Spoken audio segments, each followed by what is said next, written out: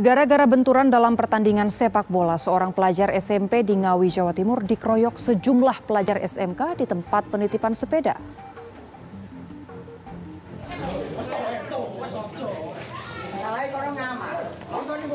Dalam video yang viral ini terlihat sejumlah pelajar SMK di Ngawi, Jawa Timur terus memaki-maki seorang siswa kelas 9 SMP Negeri 1 Kedunggalar di tempat penitipan sepeda di sekolah korban.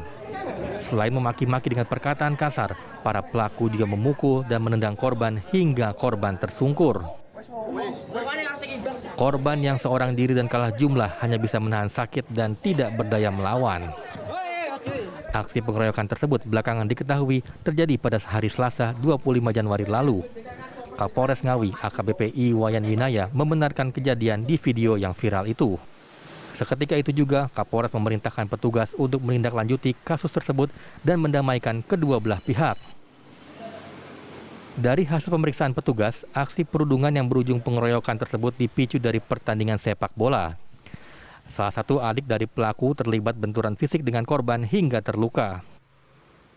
Karena tak terima, salah satu pelaku mengajak teman-temannya untuk meminta pertanggungjawaban dari korban dengan mendatangi sekolahnya di pengeroyokan terhadap uh, seorang anak SMP dengan isi inisial GSM. Ya. Kita sudah melakukan upaya restoratif justice terhadap uh, peristiwa ini sehingga kedua belah pihak telah berdamai baik seorang korban tersebut bersama orang tuanya ataupun lima yang diduga pelaku itu berserta dengan keluarganya beserta guru dan uh, perangkat desa. Jadi kita sudah mencapai sebuah upaya perdamaian melalui restoratif justice. Kini kasus tersebut telah berakhir damai. Dari kedua belah pihak pun tidak menuntut dan sudah saling memaafkan. Dari Ngawi, Jawa Timur, Miftahul Ervan, TV One mengabarkan.